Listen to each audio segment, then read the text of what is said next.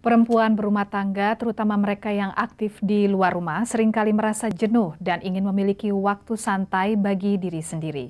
Untuk menyiasatinya, kita simak liputan hasil kerjasama RCTI dan majalah Femina berikut ini.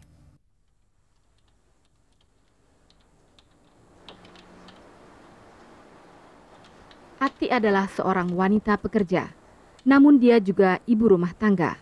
Sehari-hari, Atik berkutat di depan komputer selama 8 jam. Seperti wanita lainnya yang bekerja, pekerjaan di kantor dan aktivitas rumah tangga sudah cukup memberi beban tersendiri. Lama-lama timbul kejenuhan dan kebutuhan untuk mempunyai waktu buat diri sendiri. Kalau perempuan sampai rumah ya itu anaknya masih teriak-teriak, masih apa, itu pasti lelah sekali. Tapi di sisi lain, tanggung jawab mereka sebagai seorang ibu kan nggak mungkin dong ya dia, mereka mengabaikan hal-hal seperti itu. Mereka akhirnya menjalani juga. Jadi akhirnya secara fisik mereka juga tambah capek dan uh, satu hal lagi mungkin mereka jadi merasa kalau gitu waktu saya kapan ya buat diri saya sendiri. Menurut psikolog Nini Wulandari, beban wanita bekerja apalagi di kota besar memang tidak ringan. Waktu yang dihabiskan tidak hanya saat bekerja di kantor, tetapi juga perjalanan ke kantor dan mengurus rumah tangga. Sebetulnya berapa jam dalam sehari yang digunakan oleh rata-rata wanita di Jakarta gitu di Indonesia untuk bekerja saya pikir cukup panjang ya. Tidak hanya jam kantor dari pagi sampai sore sampai rumah masih kerja lagi, mungkin yang tersisa cuma buat tidur aja.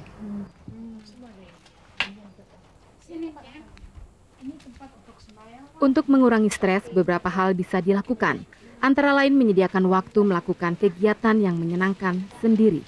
Bisa dilakukan di rumah atau di luar rumah.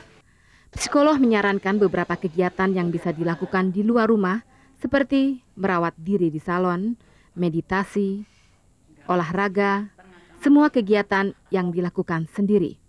Di rumah pun mereka masih bisa refreshing. Beberapa kegiatan sesuai minat bisa dilakukan, di antaranya membaca novel, mencoba resep baru, berkebun, dan menonton film favorit. Namun Ati mengaku bahwa tidak mudah melakukan hal tersebut. Ketika berjalan-jalan sendiri, dia merasa tidak nyaman.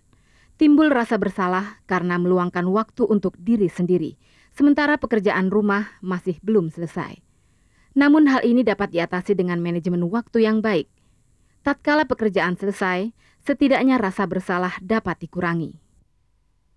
Nah, balik lagi ke manajemen waktu. Kalau memang dia sudah bisa mengelola penyelesaian tugasnya dengan baik, ya, secara realistis dia tetapkan target-target perharinya apa yang mau dia selesaikan, paling nggak dia pasti masih bisa menyisakan sedikit waktu untuk kesenangannya sendiri. Pada akhirnya, semua kembali pada bagaimana wanita mengatur waktu dan menjalaninya dengan ikhlas. Segala sesuatu yang dilakukan dengan senang hati, hasilnya tentu akan baik juga. Marcelina Ika dan Narto Wiratmo melaporkan.